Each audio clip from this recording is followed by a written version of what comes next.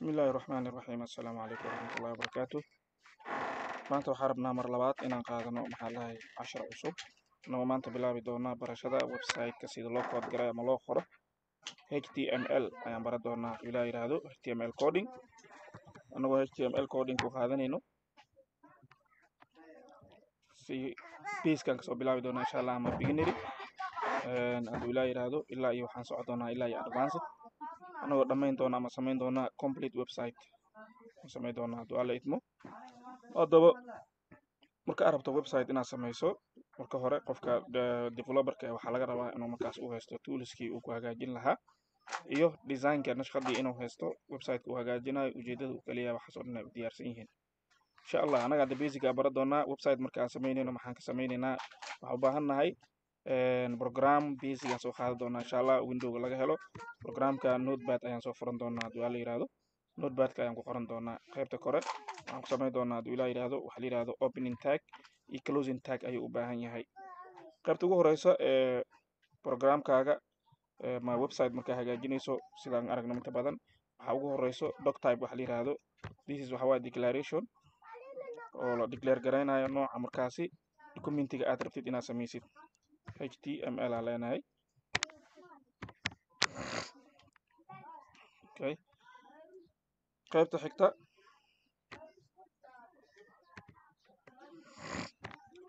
Qaybtaas ma noqonayso qayb markaasi soo muuqanayso. Hadduu ala yidhaahdo sidoo kale taaga kale u baahannahay ama website-ka masti ay tahay inaan laga waynin ayaa waxa uu ka bilaabanaya h t m l. H t m l maxay u taagan tahay? Hypertexty mark up language. Waa language lagu qoro programming website-yada. Tan ayaa waxay tahay mid u ogolaan doonto web browserka inuu markaas u fahmo ama u akriyo contentska markaas uu ka kooban yahay website-kaaga. Browserska sida opera ama chrome kaa ku soo akrinaysa ama internet explorer. H five ama h six ayaa isticmaali doonaa idmo si markaas ay u fahmaan latest browserska ama updatedka. Opening markay tahay waa midaas oo ay ku jirto opening macnaha wax closing ma laha sidaasaa u qoraysaa. Distag waxaa loo yaqaanaa opening tagaa lahaa iyadoo closing ay leedahay closing markaa dhegsan waxaa ku xijinaysaa marka aad samayso slash h t m l aa leedahay. Waa xiraysaa haddan. Insha allah. Marka micnaheedu waxa waaye h t m l kan labadan h t m l inta u dhexayso ayaa waxay noqon doontaa ama ay gali doonaan website-keena waxyaalaha uu ka koobmi doono hadduu alla idmo. For example waxaa kaloo taagyada kale loo baahan yahay. Waxaa ka mid ah head oo kale qaybta headingka ay noqonaysaa. This is the head wa. Head tag markaa dhahdo waa qaybtan inta badan waxaa gasho qaybaha titlekii iyo waxyaalahaas oo kale meesha galaysa waaye. Headkan waxaan samaynaynaa asina sidoo kale closing head oo leeyahay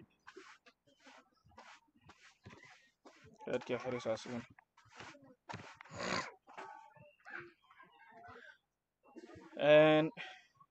headka waxaa ku xigo sidoo kale qaybta markaasi bodigii halii la rabay inay ka soo baxdo browserka kore ose sheekada meesha aad ku qori lahayd. Iyadan waxay noqonaysaa inaad ku qortid body tag. Okay body tag iyadan waxay leedahay closing ay samaysaa meesha ugu dambeysa waaye body taggaaga uu ka xirmaayo kale.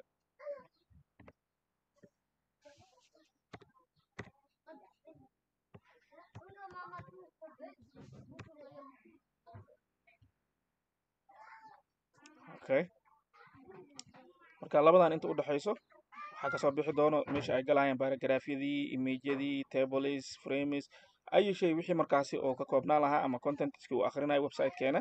Meesha ka soo bixiso labadan dhexdooda ay gelaysaa marka marka labadan hoose waa isku xigaan waxayna isku xigaan. Labadan waxa waye tan markuu imaato way soo xirmin website-kii. Wax walba had inta ka hooseeyo ma soo muuqan doonaan waay. Hadhow browserka ma saari ma bandhigi doono ma muuqanayo marka sidoo kale qaybtan headingka oo kale headingka waxyaala badana galo sida styleka galaayo ama titlekii pageka marka aad ka rabtid oo kale sida ciwaankan oo kale title oo kale marka u samaynaysid for example hadda title markaa dhahin oo kale aa leedahay kadibna waxaa ku qoraysaa title aa ku qoraysaa title tag o opening ah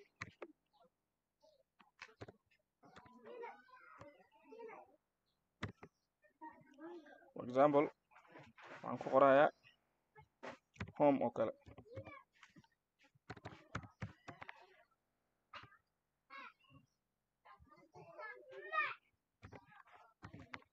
Home page aan ku qortay kadib waa xiraya marka titleka intuu ku eg waa macnaha maxmedon awartaa kushaado dhaaf meeshaasaa ku xiraysaa markaas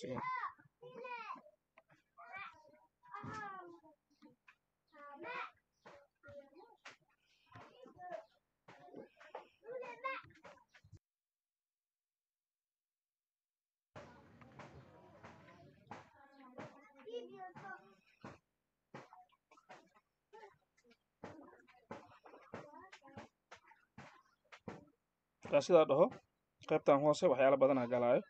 Waan safe garaynaynaa marka safe. For the first time. Kadibna magaca bixinayna waxaan leenahay index. Waxaan raacinayna extension html waxaan ku safe garaysanaynaa desktopka kadibna waxaan samaynaynaa folder. Foldadan waxaan ku qorayaa. Page asaga qoraya kadibna waxaan leeyahay open the folder. And save it then minimize this one hoos ii dhig kadibna hataan foldadan soo samaystay soo furaya open oh sorry. Savinka iga khaldamay. Waxaan leeyahay open save as dhe sorry. Htmlk aa raacday keydaas aan ka tirayaa maanan fiirinin okay minimize. Halkana indexana way noqonaa marka browserkaasa ka soo baxaya meesha okay. Titleka waxbaa iga maqan marka titlekeyga waxbaa ka maqan this is home page uu isoo qoray headka ahayd titleka okay edit gare halkana title e ka maqan soo markays kadibna then save again. Control s. Minimize it. And then tasoo gahay reload the refresh. Halkana marka home inta u galay so this document weli wax ima qorno. Documentiga ima qorno. Documentiga rabnaa inaan ku soo qorno kale. Documentiga markaa imaano qaybtan boodiga imaanayna boodiga markaa imaano.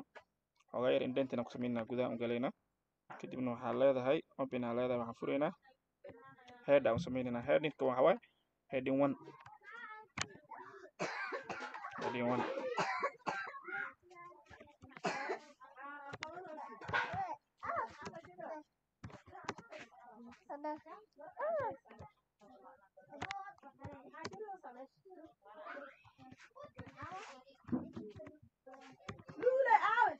Home page qaala naga dhaaf this is my home page qaydis madax kale ma kugu duceynin adi lula hilibka aamusaga sugar kule saa leedahay marka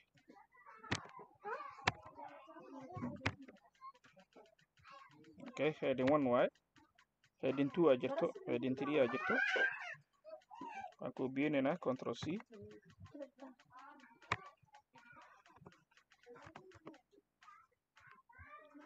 Tab dheh control v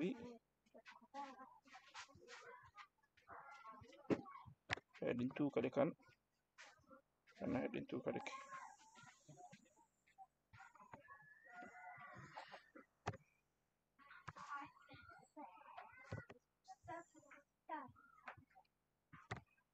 heading